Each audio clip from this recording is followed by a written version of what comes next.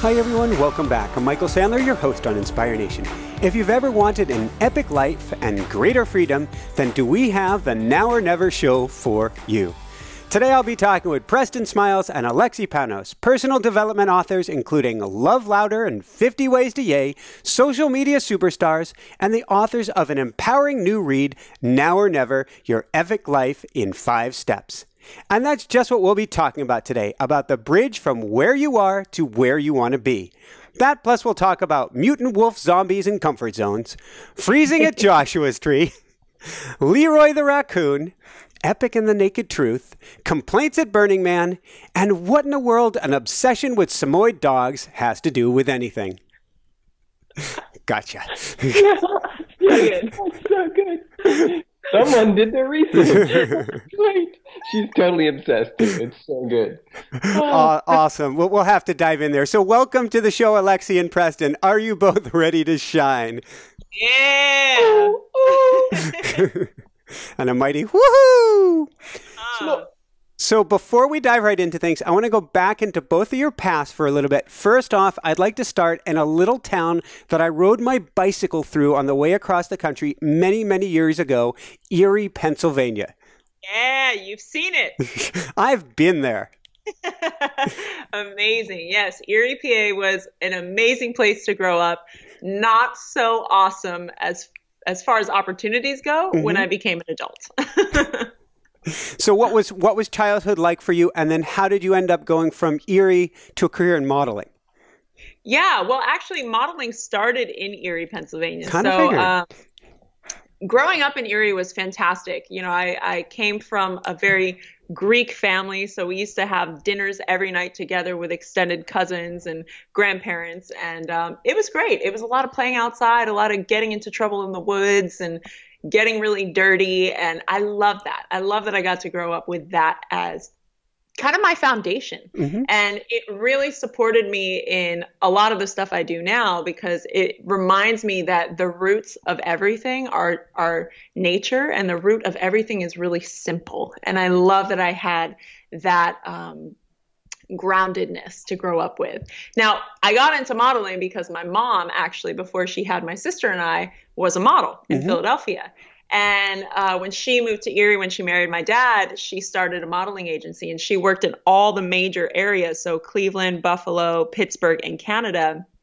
And she hired, like, she had real people talent Yeah. for banks and for catalogs and for all of the commercials that you would see in the tri state area. And my sister and I, since we were little, were doing like Disney pamphlets and TJ Maxx ads and all sorts of things as like little babies. And then um, I think I hit about seven or eight years old and I was done feeling like getting my hair done. I was a real tomboy. So I was not into that. From seven to 12, I was like, don't touch me. Don't put makeup on my face. I want to be a dirty kid. And I lived out that dream very well. Yeah. And then around 12, I shot up to um, five nine, super skinny at the time, super awkward. But New York City agencies love that, right? They're Oh, like, yeah. oh, you look super awkward and super tall and thin. Let's bring you out to New York City and hit the major markets. So I started doing my summers and holidays out there and um, did really well. Did really well. And that eventually turned into a music career at 15 where I entered an ad on a dare for a singing group, a girls singing group, and ended up getting a solo recording contract. Wow. And that led me to South Jersey, where I lived there for a little bit and worked with a recording uh, producer by the name of Rodney Jerkins, who worked with like Brandy and Monica, Michael Jackson, Whitney Houston. He was like a superstar kid, 20 years old. And that eventually got me signed to MI2, which was a label under Def Jam and Murder Yep. Inc. And I traveled on the road with them from 17 to 19, and that brought me to New York City. So, Whew.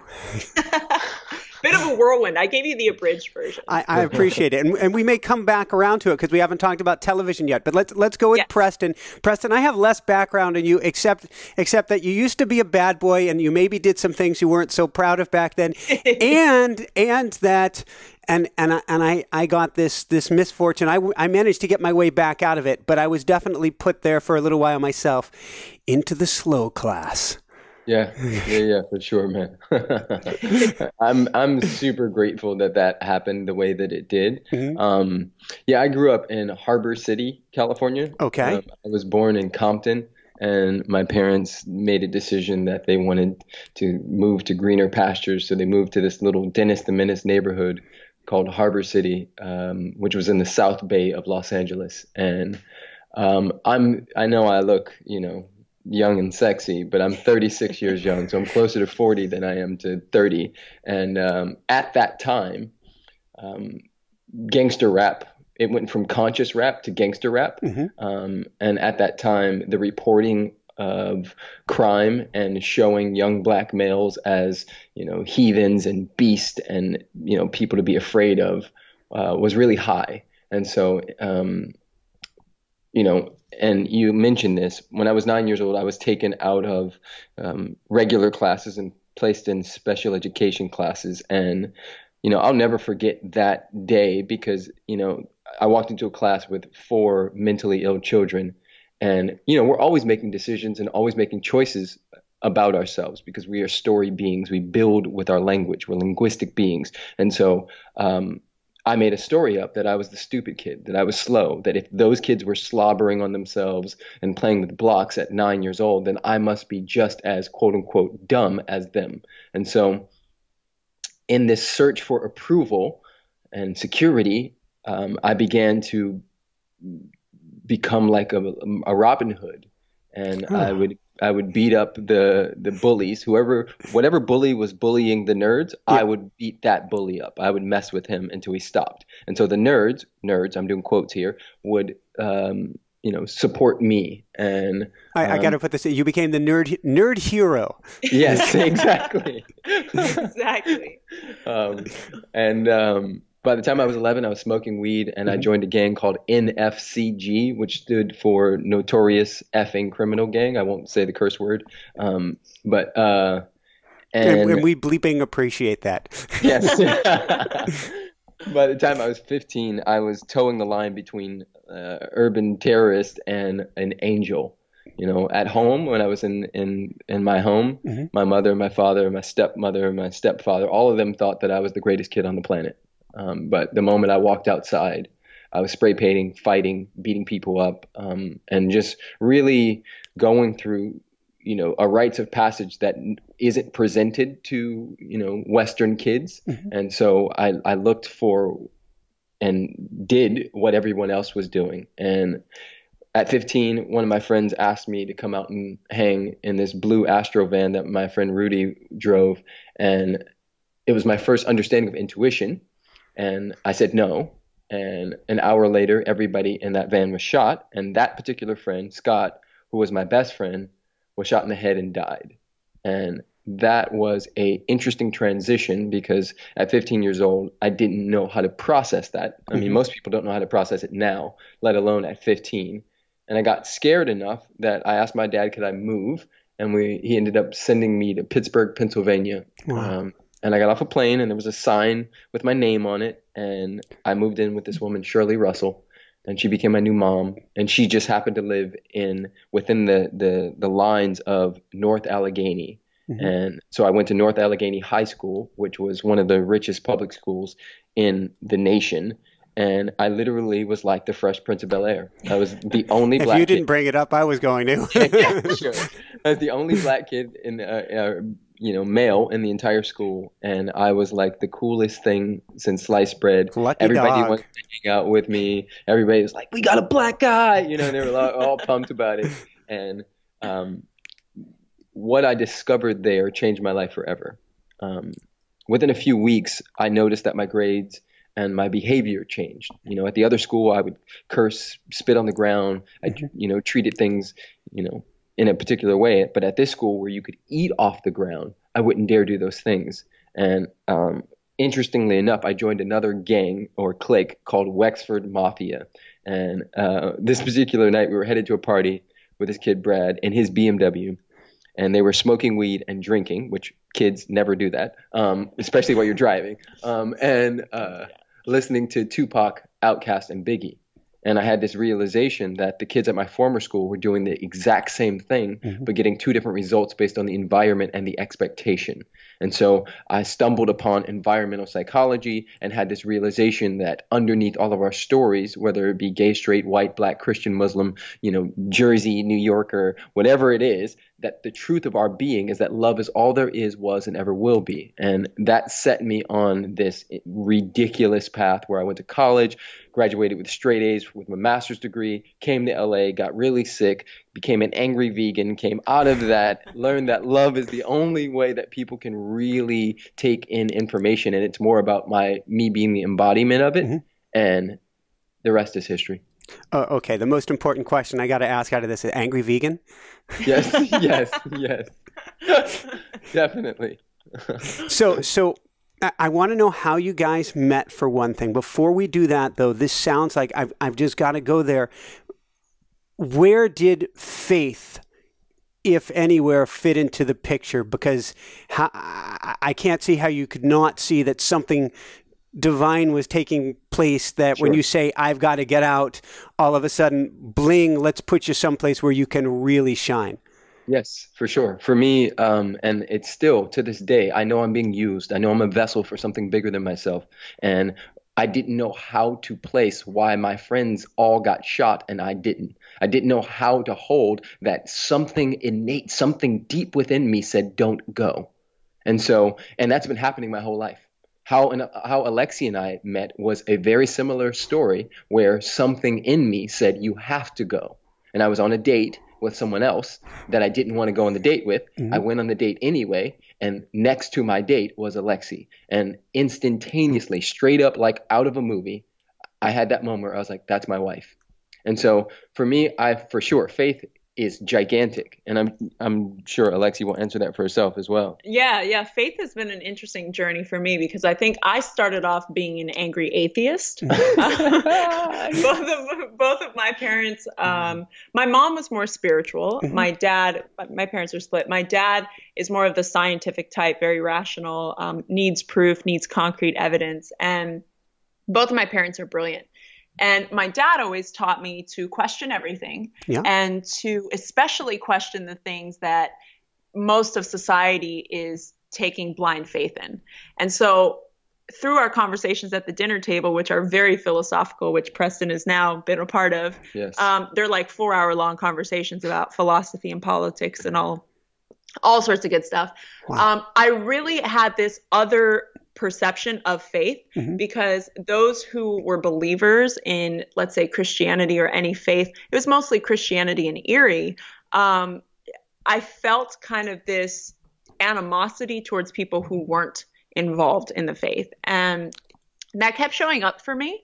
One of my best friends was kind of a born again Christian. Mm-hmm. She wasn't when I met her, but came into that. And she pushed me really far out of it where she was like you know you're going to hell if you don't believe in this and i just i really didn't resonate with faith in that way mm-hmm. but what was interesting is through the scientific study of the self yeah. and through this deep dive into my own human potential i've come back full circle to faith because i've come back to this um, unknown variable which cannot be answered by science. And what's really cool about it is I've come to faith on my own terms in a completely different way, but that in a way that's so unified in every great major religion, it's the unifying thread through all of it. And I believe that I found that through my scientific mind wanting proof and wanting evidence has come to this deep faith in the unknown magic of this whole thing of creation. Very, very cool. And then would you corroborate the story of how you met Preston as well? Yeah, yeah. So what's interesting is that was a whole bunch of intuition and faith as well because I was in New York City. It started there and I was meditating and got this huge yes to move to LA. And as a New Yorker, LA is like off limits. You know, New York and LA kind of have this thing. And I, I literally kind of came out of the meditation and was like, LA, why would I need to move to LA? And uh, there was no concrete reason why. Mm-hmm. Like I set up my life in New York City. I had, you know, high six figure income. I just bought a place that I totally remodeled. why the hell would I move? And sure enough, I, I took I took that as a sign and I booked a trip to LA the next weekend. Went out to LA, kind of just explored. I had two friends from New York who had made the move, so yeah. I hung out with them. And that weekend I decided and I came back to New York, packed up my books because I love my books and my clothes and that's it and came on out to LA with no plan. And that led me to eventually dating a guy who I was out in London with uh, Preston's giving a big thumbs down here. Exactly. For those of you who can't see, Preston disapproves. Um, no, but great. It's he's perfect great. because I, I needed to date this guy and go on this trip to London, which I did not want to go on, but because it was my first weekend off. And this guy was like, please come out. We never get to see each other. We're always both traveling for work. He's like, I'm having a boys' weekend. He ends up missing his flight from Atlanta. So I end up spending the whole first day with these two guys, one of which was Preston's college friend, who, after spending all Friday with me, is like, You are the female version of this guy, Preston, and you guys have to meet. You're going to work together. You're doing similar things. Let me put you guys in a Facebook message. So he puts us in this message. Preston responds. I think I maybe respond back. And then that was it. We just kind of let it be. And Preston was under the assumption I lived in London. London. So when we ran into each other at this event two weeks later, he was like, Wait, don't you live in London? I was like, Oh no, I live here. And he's like, What? You live here? And then, long story short, we ended up meeting up for coffee a week later. Mm-hmm. I thought it was a work meeting. He thought it was a date. Um, it turned into a date, essentially. It turned into like a four sure. hour. Good, good job, Preston. I know this one. And it was so great because um, really what turned it into a date for me was I was asking him about his vision. And in terms of, I'm thinking I'm going to work with this guy, right? Because mm-hmm. that was the context that was set up for me. And I asked him about his vision, and he's telling me about it, and he's super passionate about it. And he's literally describing my exact vision. And it was like one of those click moments where my intuition was like, this is your guy. And it was so crazy because I wasn't I wasn't looking for it. I wasn't yeah. looking for it at all, but it was so apparent. It was so obvious. And um, yeah, and the rest is history from that. Yep. Very, very cool. Well, you say you weren't looking. Whenever I hear somebody saying they weren't looking, what what the, the question that comes to mind is, but were you doing the work? Yeah, always. See, and that's and that's, that's, such a great question.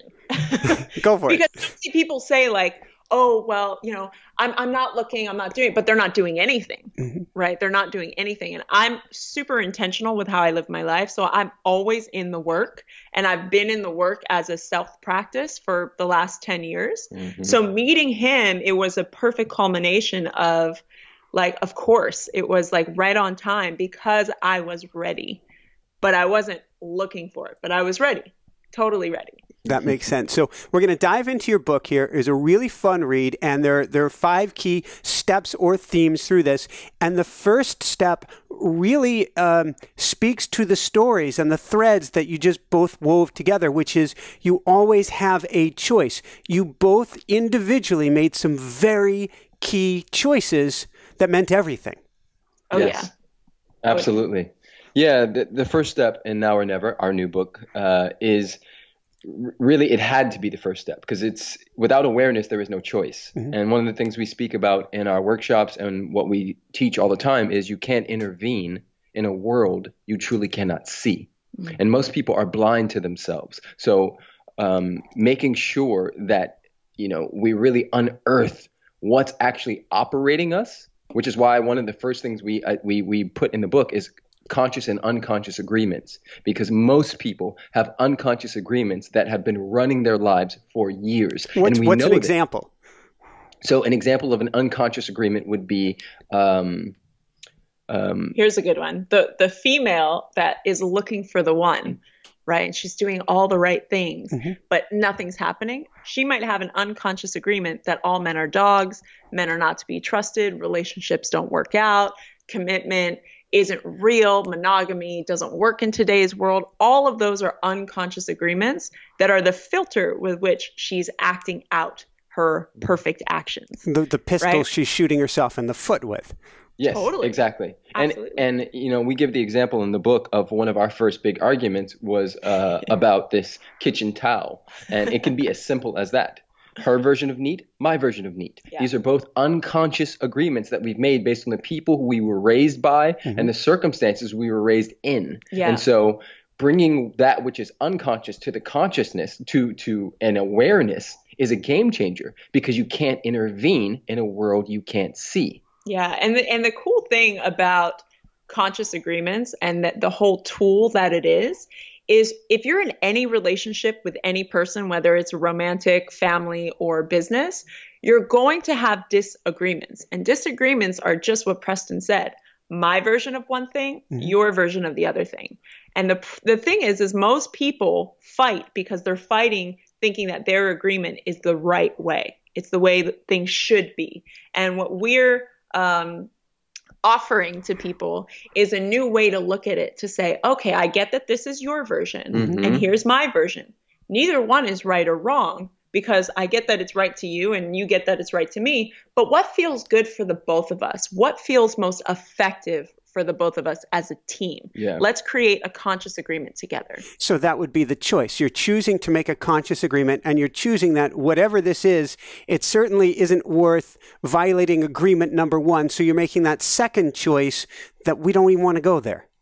Yeah. Well, exactly. It's it's really about going we have a choice on how we want to deal with this. Mm-hmm. Do we want to fight to be right and, you know, live in dissonance with each other and live in this like terrible feeling or do we want to create a compassionate way to be with one another and really support the relationship? Yeah, and the thing is, and, and I'm going to speak to our relationship. Yeah. We are conscious workout partners that get to have sex. And the awesome part about that is all of the places that get reflected Mhm. in this dance that we're in, right? And so, you know, going back to con- unconscious agreements, there have been things that have been unconscious agreements that I've been operating from that have caused, uh, let's say, a, a disagreement, caused some type of argument that was brought to consciousness.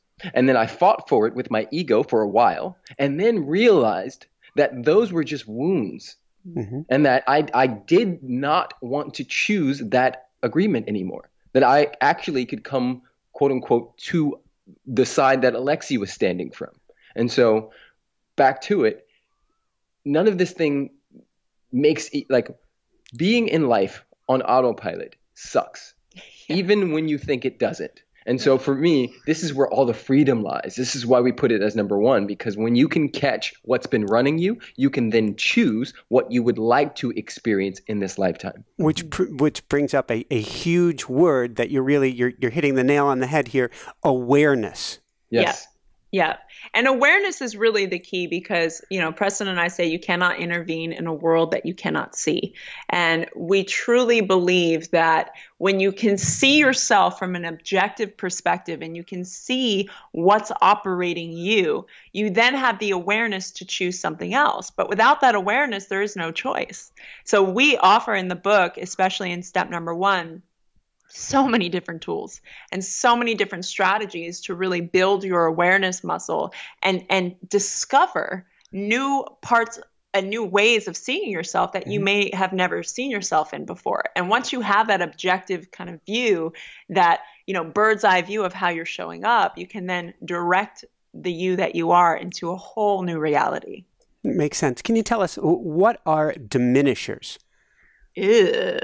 you want to talk on this Yeah, sure. Okay. So, um, in essence, diminishers are those little, uh, let's say, they diminishers work for our ego. And what happens is, is we all have a dominant diminisher. We, we have many of them, but there's always one that shows up right when you're about to break through, um, or when anything is happening. So one of my dominant diminishers, and we're going to go through a few of them, is is I got this, right? So even if I don't know, I'll just mm-hmm. jump in and be like, oh, I got this. And that diminisher is the thing that is actually holding me and keeping me from living my greatness. Another one would be procrastination. How many of you guys have ever had that where you where you're like, okay, I know, know, exactly what I have to do. Yes, I know what I have to do, but I'm going to scroll through Facebook and Instagram for three hours first. And watch videos on gorillas. And then I'm going to call my mom and make sure that she distracts me for a little while longer until I can put this off till tomorrow. Yeah, or if you're like me, one of your diminishers could be perfectionism, where you're mm waiting for everything to be perfect and you're waiting for all the ducks to be in a row before you launch, before you say yes, before you put yourself out there, because your ego knows that nothing will ever be perfect. So your ego goes, well, if she lives from perfectionism, she'll never have to put herself out there enough to get hurt. And that's truly what the ego is looking to do. It's going, how can I hold this person back mm-hmm. so that they don't fully invest and get hurt? The ego's working for our um, self approval, or the ego's working for looking good, but it's not working for an extraordinary life because an extraordinary life takes risk and it takes really putting yourself out there. So the reason we put diminishers in the book is because once you know your boss diminisher, mm-hmm. you start to see it show up over and over and over again. And instead of letting yourself kind of fold to the diminisher and take direction from that guy, you go, ah, okay, I see you and I'm on the cusp of something. Like this means I'm I'm right at the brink of something really good. So let me keep pushing through. And it's actually it becomes almost like an expectation of, ooh, okay, I'm doing the work, I'm in the game, mm-hmm. and now I get to take the next step. Yeah, which is one of the things we added in there uh, in a conversation we're mm-hmm. constantly in is about overriding the system. So uh, the other day I was we were doing a Skype and and then I wanted to shut down uh, Skype, but it wouldn't shut down, and so you know, I put force quit like a hundred times, still nothing would happen. But when I held the power button mm-hmm. for you know 30 seconds, it overrode what was happening. And so for us, this is this is an analogy or metaphor, whatever you want to call it, for life. You know, once you can see which diminisher is showing up, then you get to override the system and go, oh, okay, this is I, this is my version of sabotage. This is, you know, the know-it-all showing up. Mm-hmm. This is, you know, uh, perfectionism showing up. Interesting. Okay, I'm going to do the opposite. I'm going to override my conditioned tendency to do this because we're just patterns and habits, you know, in, in a body, and we can change those patterns and habits to support us, or we can keep them in a particular way, and they can life can suck. I was going to say very cool, but very cool that life can suck, but very cool the awareness there. And, and actually, it kind of segues to step number two perfectly be radically responsible because you're talking about be radically responsible to witness your diminishers and then to hit that override button and yeah. to go forward anyway. So, what exactly is radical responsibility? Yeah, radical responsibility is it, it, it's taking 100% responsibility for your role in creating, allowing, or perpetuating an event to mm-hmm. occur. So, a lot of people who have done transformation work or personal development, they've heard of the concept of responsibility, but they've actually kind of taken it out of context and they've turned it into self blame. Mm-hmm. Like, oh, I'm to blame for this happening. I'm flipped it right on its head. Yeah, exactly. And and for us, we really want to be clear that radical responsibility is not about blame because blame still denotes that there's a should involved. There's a way that this should have gone. There's a right and a wrong. And we don't like to play in that black and white thinking. We like to play in the gray because life is gray. You know, life is very gray. And for us, we think that radical responsibility is about going, okay, if two people are involved in this scenario and mm-hmm. something happens, it's not 50 50. It's 100%. If this person over here takes 0% responsibility for it, how am I 100% responsible for my part? They're, they're on their own with how they're responsible for theirs. But creating it, how did I create this scenario? How did I set myself up for this, you know, and some people will look at that and go, oh, I don't know, you know, oh, my husband cheated on me. How did I create that? And we say, you know, we have this example in the book so many times that happens where one partner will cheat. And of course, it's so easy to look at the other person and go, they're in the wrong. They did wrong. I'm right. But often we take our clients and we say, okay, where have you been cheating in your relationship? Have you been cheating with your child? Have you been cheating with your work? Have you been cheating with your affection and like withholding that? And so that we often don't want to look at how we're responsible for creating the perfect environment for something to grow out of. And then there is um, allowing, which allowing is is a tricky one to really take responsibility for because mm-hmm. you really have to be willing to look at yourself and go, "Oh, I've been seeing those red flags for the last 2 years and I haven't done anything about it. Oh, I've been seeing all the signals, but I've been avoiding it cuz I didn't want to be lonely." You know? And then there's perpetuating where for me, um, and I talk about this in the book, I had a really hardcore scenario happen to me when I was 20 where I was sexually assaulted and raped. And it, while I didn't create that, while I didn't allow that, mm-hmm. I perpetuated that because I carried that with me. I carried that trauma with me for six years before I ever faced off with it. And then I had to do the deep work of forgiving and compassion and all of that. But from 20 to 26, I was perpetuating the story. I was perpetuating this victim consciousness of I'm a victim. I can't trust anyone. I can't move forward. I, you know, I need to be protective and I need to like shield my heart and can't show who I truly am. Mm-hmm. And that was me perpetuating the event. So those are the three ways that we can be radically responsible for stuff. Thanks so much for watching. If you enjoyed it, be sure to like, like below. Also, leave your comments. Have some real fun with it. Subscribe to our channel where you're going to get more great videos, more interviews coming up. And check out our website, inspirenationshow.com. That's where you'll find tips, blogs, information, videos you won't find anywhere else, and useful and helpful resources to really help you kickstart your life and to shine bright. Thanks so much again. Thank you for your support. Like, like, like, comment, subscribe. See the website. Thanks so much and have fun. Of course, shine bright. Woohoo!